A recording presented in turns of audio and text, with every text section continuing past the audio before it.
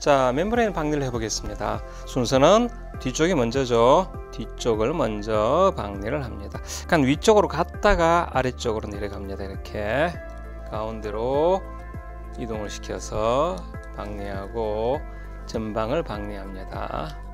이렇게 어, 박리가 되면 이제 마지막으로 내측 벽을 박리하죠. 후방의 벽을 따라가다가 하방으로 내려가지고요. 이렇게 그 다음 앞쪽으로 박리를 하고 이어서 내측으로 들어가서 박리를 합니다. 안쪽으로 깊게 넣어서 이 코와의 경계가 되는 레테랄 레잘 월 쪽을 따라서 위쪽으로 올라가게 이렇게 내측벽을 박리해 주면 되겠습니다.